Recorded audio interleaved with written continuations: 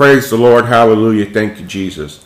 This minister Paul and yet another day of the gift of life. Thank you, Lord, for. January 3rd, 2014. It's a Friday. Amen. So, I want to briefly touch on a subject that's been on my heart for about a week. I'm be as brief as possible, which means this will probably run about three hours. I'm sorry.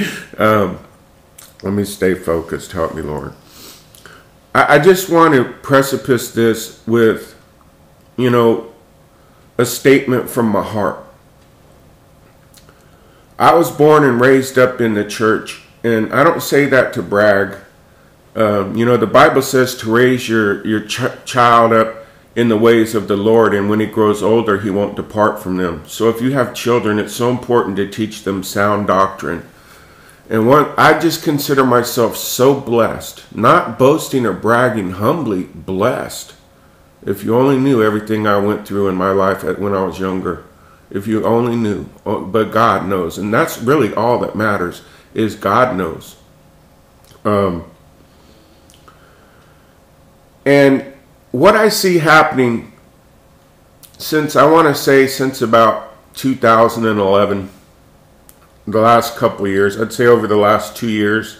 Maybe it's just because I, I watch uh, a lot of YouTube videos and read Facebook posts and stuff. Is the doctrine that I was raised on, in my opinion, is very sound. And and it's become twisted But, you know, I find comfort in that, and I hope you can find comfort in this also. Um, that Jesus said that would happen. And Jesus can't lie. He said that in the last days that there'd be a falling away and that, that, doctrines of demons would be preached. Think of that, doctrines of demons. And there would be false prophets and false teachers and a lot of anti stuff. Anti means, you know, the opposite of. In other words, it's not Christ like, it's unchrist like, it's antichrist like.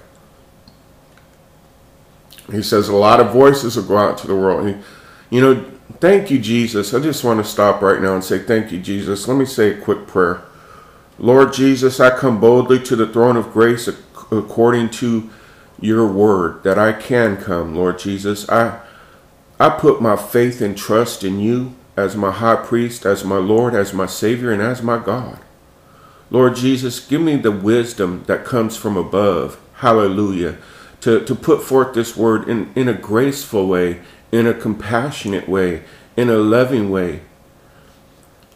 Lord, give me the words to say because, you know, just make my lips like the tongue of a ready writer to, to put this out so it can be received in love and that we can all learn and grow because, Lord, we want to obey your commandments and we want to follow your word. And it, it's getting real hard down here, Father. You can see, you know. Your word says that you know the end from the beginning. That before I even woke up today, you knew that I would be doing this. And I just find this amazing. And I find you awesome, God. And I love you so much. So much. Lord, Lord Jesus, I love you so much for what you've done in my life daily. Lord, you know, search my heart. I love you, Jesus, and I'll always love you, Jesus. Thank you for what you've done in our life. Bless your children, Lord God. Amen.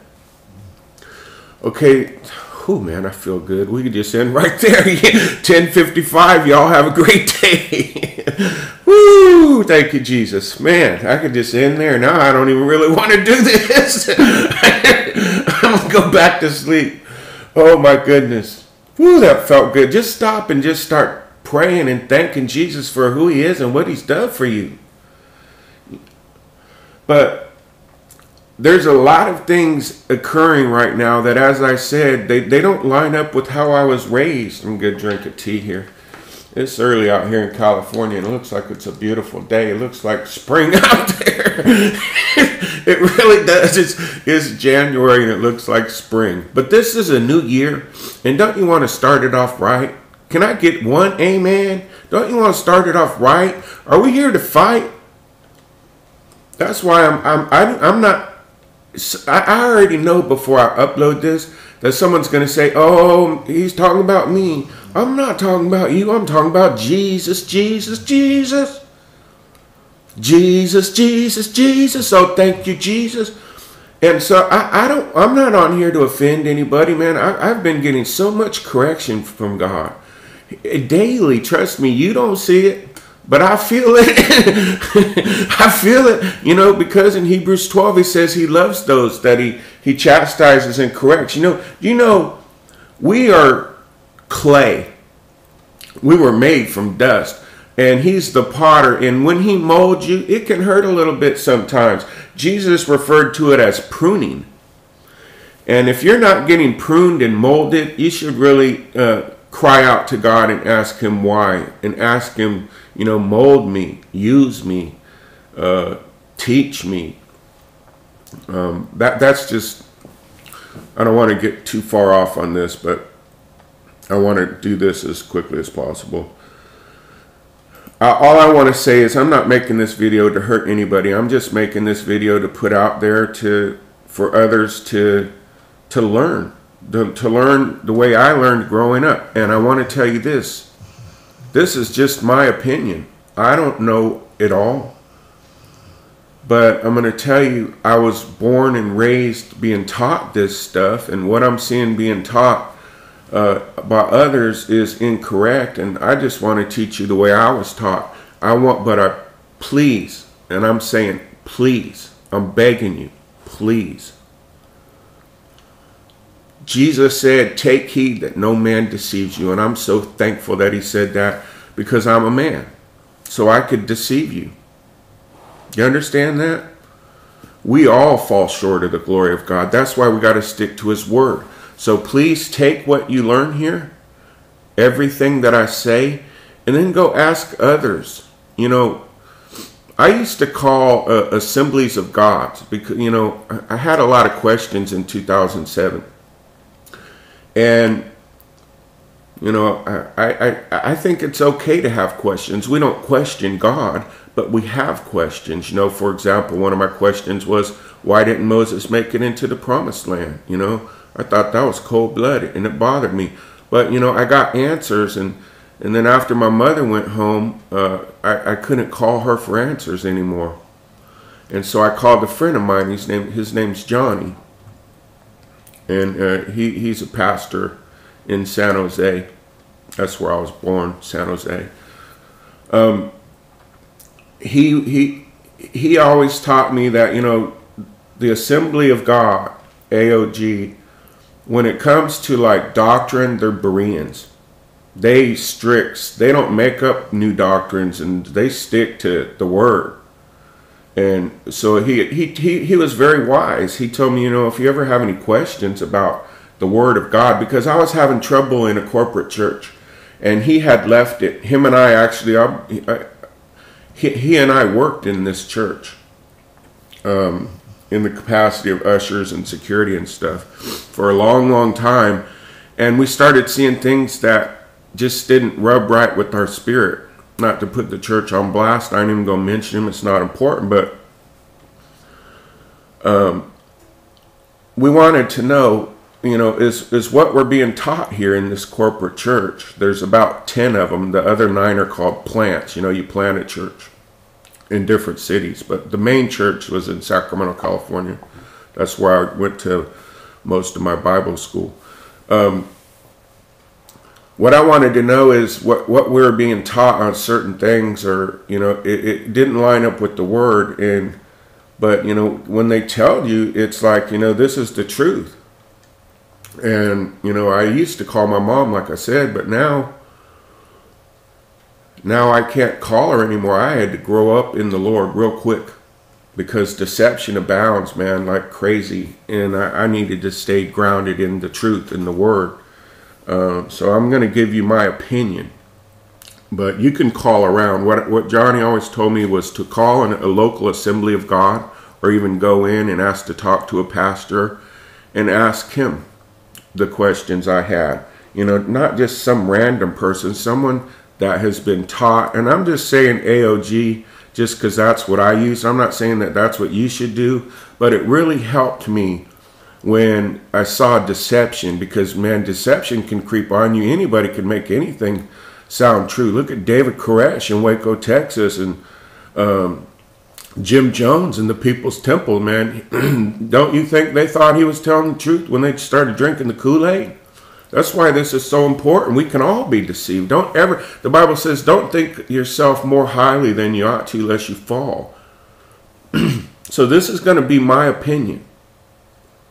But I, uh, the Lord has led me to do this, and uh, or maybe I led myself to do this. I'm tired. I'm tired of getting scrutinized so heavily. You know, maybe I led myself to do this. I'm going to be just say it like that.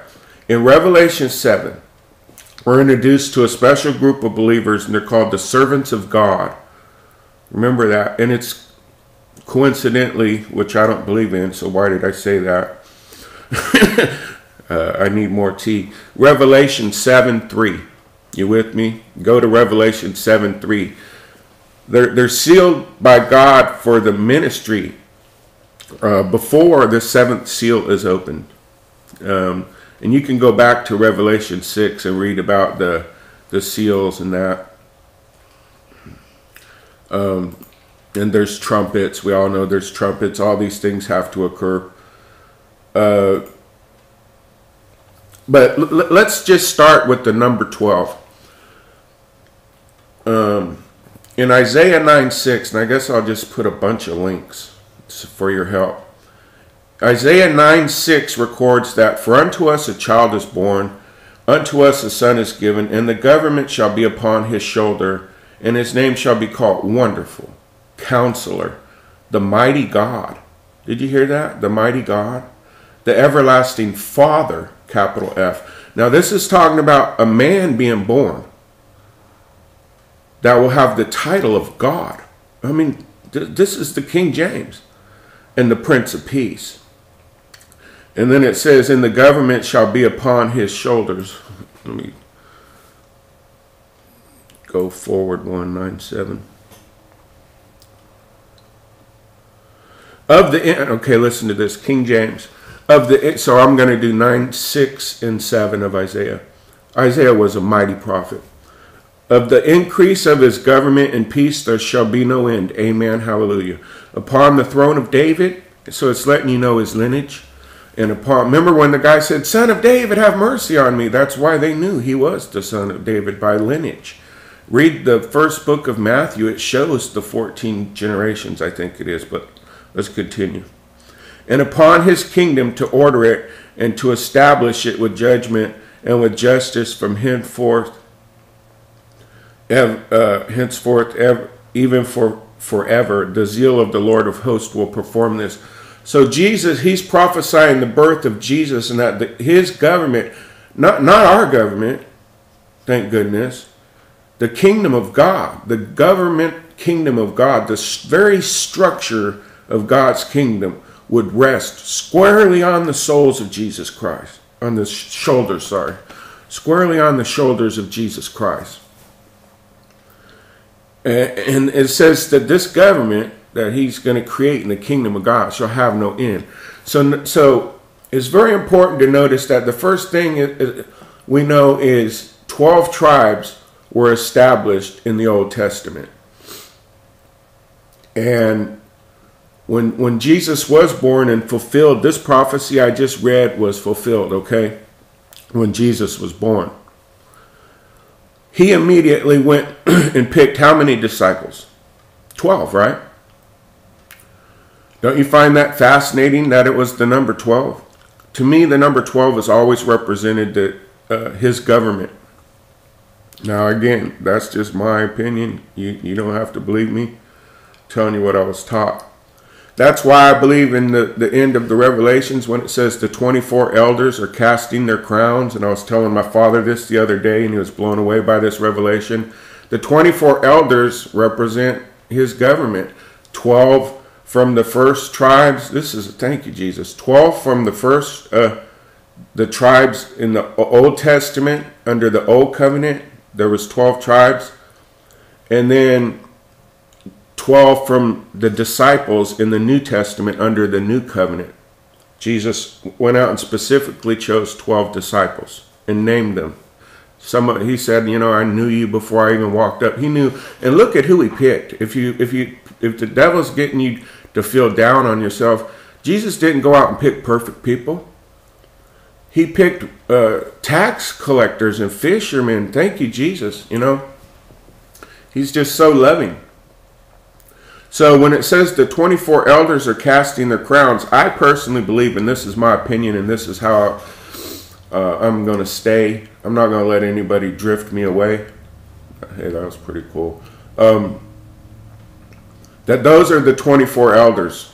And you know, and you know how I can kind of firm that up is, isn't it amazing that uh, the tribe of Dan is excluded? So it, you know, it, but it they chose another 12 in Revelation 7 6. Uh, it says, one of the sons of Joseph takes his place. And also, don't, it, don't you find that amazing?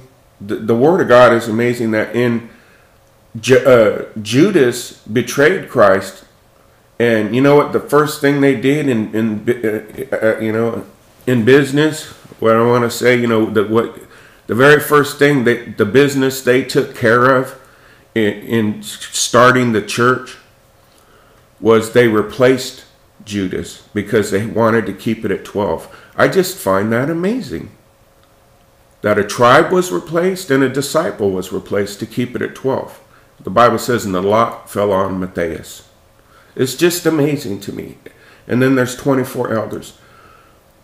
So in Revelation 7 3, they're sealed. We, there's things that we can hear that are undisputable and undeniable. These, these servants are called sons of God and children of Israel. That gives us a clue. One, they're male, and two, they're children of Israel. You know, that's what the Word of God says. It, it, it says the 144,000 are not sealed to become Israel, but they are sealed out of Israel. That's what the Word of God says. I don't really, uh, I'm getting disturbed on some of these things that are being said on YouTube. Um, they're going to evangelize during the tribulation. And Hebrews 7 clearly shows you uh, this. Um,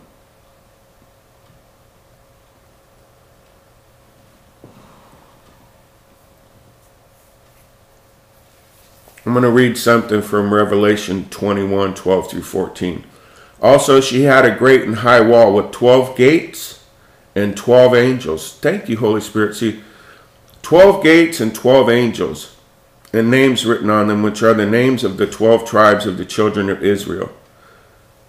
Um, and then the 12 apostles. I've actually never seen that before. So even there's 12 gates in heaven. Uh, it's just amazing. So I'll put a link to that. I got a lot of that's Revelation 21, 12 through 14, if you can remember. Um, in Revelation 20, verse 4, it says, Then I saw thrones, and seated on them were to whom the authority to judge was committed. Also I saw the souls of those who had been beheaded for the testimony of Jesus and for the word of God, and those who had not worshipped the beast or its image, and had now this is very important because Revelation 13 says that the Antichrist will rise up with the false prophet, and there will be a mark of the beast that you won't be able to buy or sell. And I'm not going to be here. I'm already sealed. You know, let's talk about the sealing. Sealed is is being sealed by the Holy Spirit. It truly is. The, the, the, and I'm going to give you some scriptures here because the, these 144,000s are the first fruits, quote, of a redeemed Israel. And it was previously prophesied about this uh, in Ro- uh, Zechariah 12:10 and Romans 11:25 through 27. They, when they evangelize, please understand this. It, they are living in evangelizing in a post-rapture world when they're proclaiming the gospel, it's during the tribulation period, and we haven't entered that yet. Uh, and millions will be saved, a great multitude that no one can number, it says, from every tribe and people and language, Revelation 7 9, will, will come to faith in Christ. There's when, you know, they're sealed. The Bible talks about when you're sealed, it's the Holy Spirit sealing you. See, I believe that I've been sealed and redeemed. You don't have to believe that, but I believe that I've been sealed and redeemed. And uh, because I accepted Jesus Christ as my Lord and Savior, and I'm remaining obedient to Him, and my sins are forgiven, and that I'm filled with the Holy Ghost, hallelujah, that I'm watching and waiting for His return. And He's going to meet me in the sky, a trumpet's going to blow, and I'm going to be caught away. Revelation 4 1. Well, there's so many scriptures on that, but I don't want to get into a debate on that right now. The rapture. People don't. People, I'm just going to tell you how I was raised, and I'm giving my opinion. I'm allowed to do that. It's my opinion. Now, our goal as followers of Christ should be, be evangelizing now. Please hear me. Now not after the tribulation, and we're not in the tribulation. If you believe that, my opinion is you're deceived. Um, we will be caught up and taken away.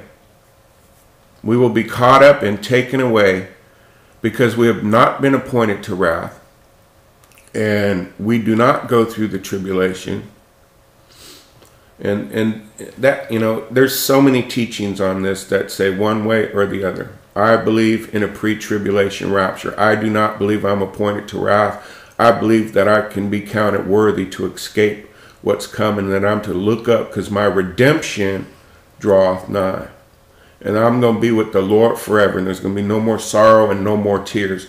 And then after we're caught up the whole world goes into what's called Jacob's trouble or the great tribulation. Now, at that time, he's a God of second chances. Now, this is just how I was raised. There's seven years, three and a half good years, three and a half bad years, because the Antichrist will break the peace treaty right at the 3.5 year mark. Read, please read Daniel uh, 9. Uh, read the whole book of Daniel. Even Daniel prophesied this. Um, Revelation 6 talks about the, the wrath to come. And the, so I was taught that the seven years was broken in half when someone claiming to be Christ would break the peace, a seven year peace covenant. Okay? But I'm not here. I'm in heaven in my mansion chilling. And so God wants to still get people to heaven. And that's why Jesus said it's a narrow path because there's not a lot of people that are living the way they should according to the Bible. And they will miss the rapture, they'll be left behind. And God needs people to continue to evangelize after uh, you and I, the believers that are already redeemed right now through his blood. The Bible says, without the shedding of blood, there's no remission of sins. Um, and Christ shed that blood for me. I believe that. I received that. He rose again. He sits at the right hand of God, and he said he's coming back. So, as soon as we're caught away and the tribulation starts, God is going to seal 144 thousand male Jews. They're going to have special protection from all of the trumpets and seals in Revelation 6, etc. Uh, they will be protected by that. And then there'll be the two witnesses. None of that occurs till after the church is gone. I, am just saying that none of that occurs till after uh, we're caught up. The, because Lord wants none to perish, and they will they will have to be martyred and beheaded, but not until God says so. See, people keep trying to do things their way, and You know, it, it, it's God's timing. It's God's will. This is God's world. People get a sense of entitlement. We we are servants of God and we are to preach the truth. And anybody promoting anything that doesn't line up with the word of God, you really need to be careful. Um because I truly believe that after we're caught up it's going to be really, really difficult. It says you won't even be able to buy or sell. They will continue to witness, they will be sealed with the Holy Spirit. And I'm just going to close with this. This ran 15 minutes longer than I thought it would, but I, I, I warned you at the beginning. Um, this thought keeps coming into my head. I'm just praying over it right now in the name of Jesus. the way I was taught by my mother was that, and, I can't wait to see her again, was, was that when, when Jesus came, see, they already had the law and they were living under the law. It was prophesied that he would come in Isaiah and several, all throughout the whole Old Testament. He came down here in John 3.16 and he he died for for the world for for to pay our sin debt.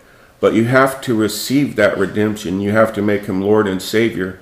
But israel uh, most of them don't believe that. They rejected him as savior and killed him.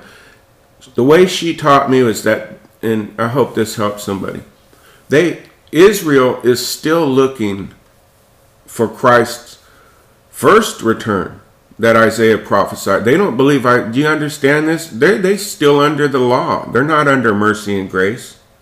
They're under the law. They don't they do not believe that Christ has came yet. They they missed it.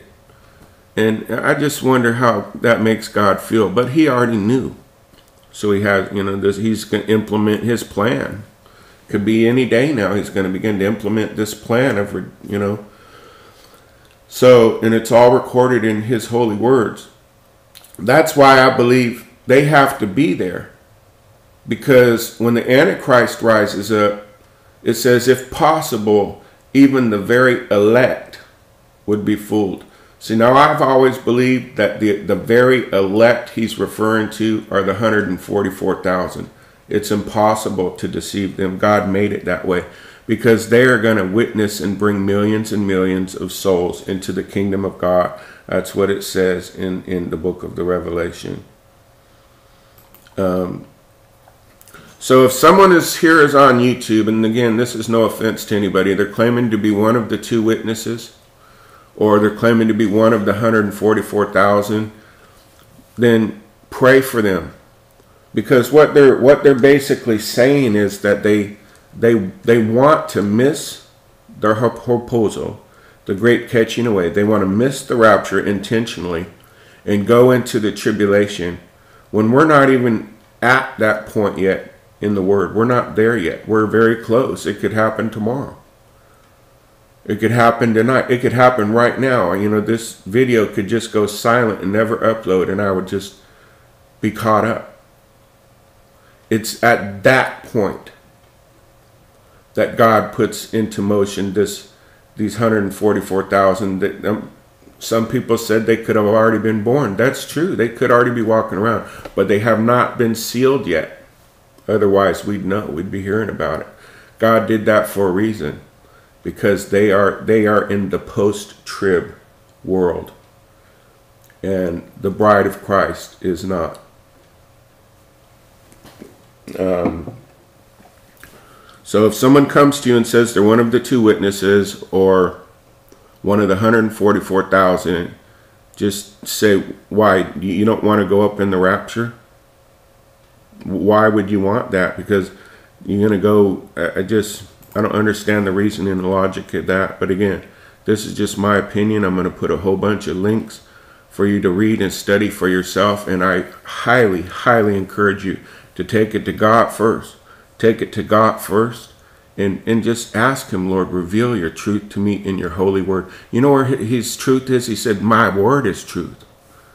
And then ask someone who's grounded in this word right here what they think. And then pray again and then go back to the Lord again and keep going back to the Lord till you get the truth.